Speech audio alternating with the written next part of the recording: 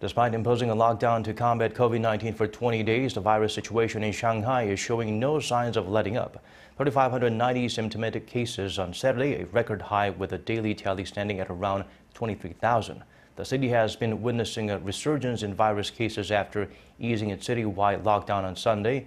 Xi'an in the northwest of the country is under partial lockdown from Saturday to Tuesday.